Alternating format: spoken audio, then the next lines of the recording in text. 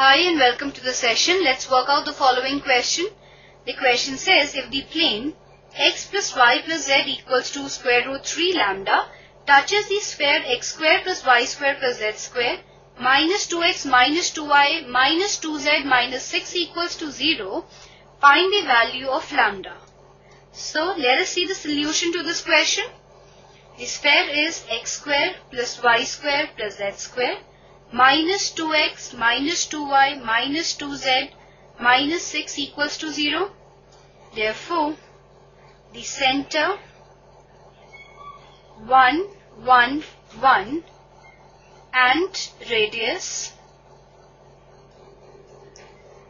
will be equal to square root 1 plus 1 plus 1 plus 6 that is equal to square root of 9 that is equal to 3.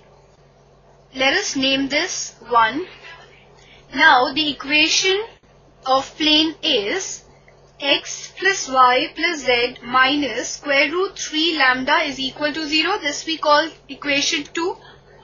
Now as plane 2 touches the sphere then mod of perpendicular from center of sphere to plane should be equal to radius this implies mod of x plus y plus z minus square root 3 lambda divided by square root of 1 square plus 1 square plus 1 square at the point or from the point C that is 1 1 1 is equal to 3.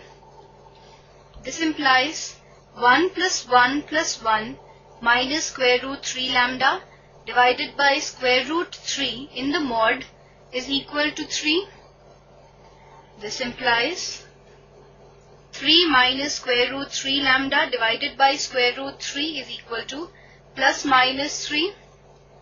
This implies 3 minus square root 3 lambda is equal to plus minus 3 root 3.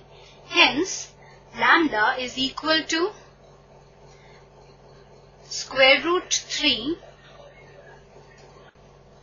plus minus 3.